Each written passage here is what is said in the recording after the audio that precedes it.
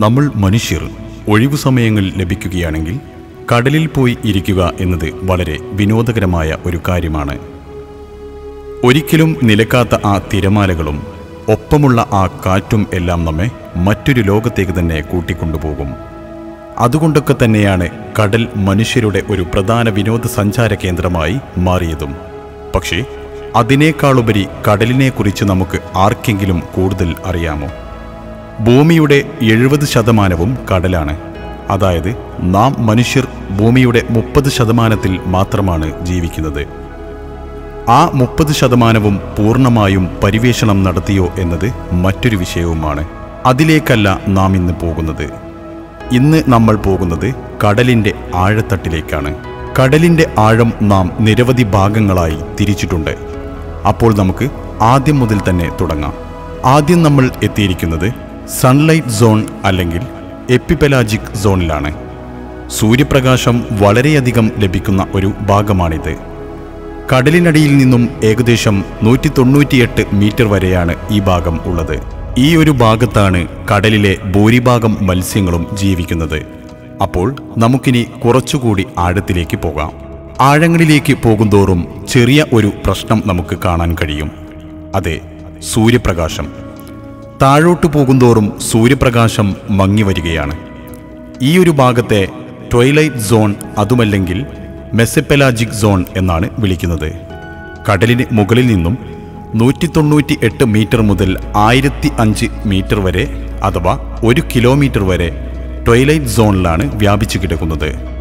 ഈ ഒരു ഭാഗത്ത് സ്കൂബ ഡൈവിംഗ് വരെ വളരെ അപകടം നിറഞ്ഞതാണ്. കാരണം കരയിലെ അപേക്ഷിച്ച് അവിടുത്തെ മർദ്ദം ഇരുപത്തിയാറ് മടങ്ങ് കൂടുതലാണ്. നമ്മുടെ ശ്വാസകോശത്തെ വരെ തകർക്കാനുള്ള മർദ്ദം ആണ് അവിടെ ഉള്ളത്. പക്ഷേ എന്നിരുന്നാലും അവിടെ നിരവധി ജീവികളാൽ സമ്പന്നവുമാണ്. അപ്പോൾ നമുക്ക് കുറച്ചുകൂടി താഴേക്ക് പോകാം. ഈ ഒരു ഭാഗത്തെ മിഡ്നൈറ്റ് സോൺ അതുമല്ലെങ്കിൽ ബെത്തിപെലാജിക് സോൺ എന്നാണ് വിളിക്കുന്നത്. സൂര്യപ്രകാശം ഒരു തരി പോലും എത്താത്ത സ്ഥലമാണിത്. പൂർണമായും അന്ധകാരം.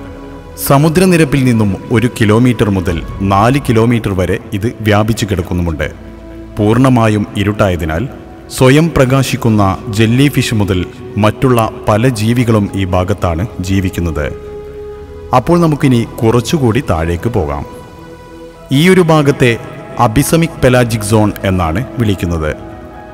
സമുദ്രനിരപ്പിൽ നിന്നും നാല് കിലോമീറ്റർ മുതൽ ആറ് കിലോമീറ്റർ വരെയാണ് വ്യാപിച്ചു കിടക്കുന്നത്.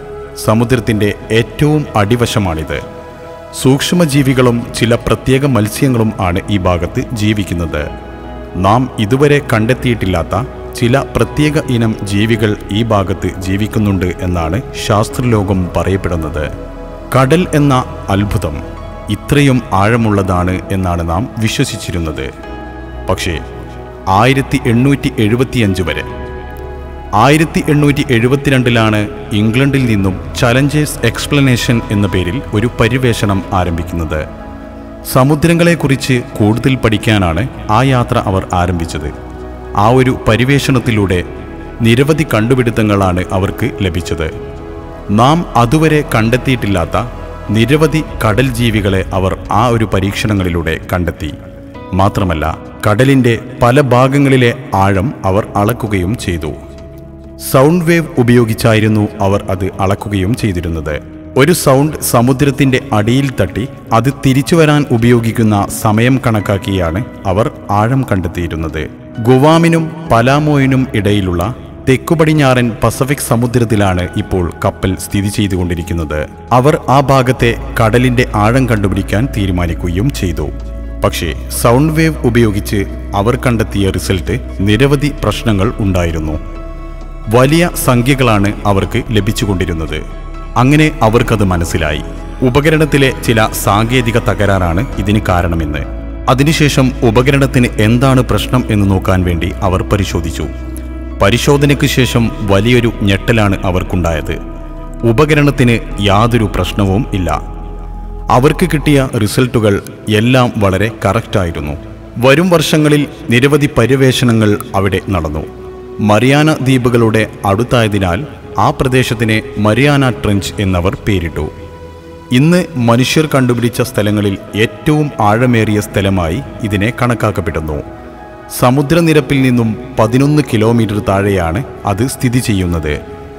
ഈ ആഴത്തിന്റെ ഭീകരത അറിയുവാനായി ഞാനൊരു ഉദാഹരണം കൂടി പറയാം.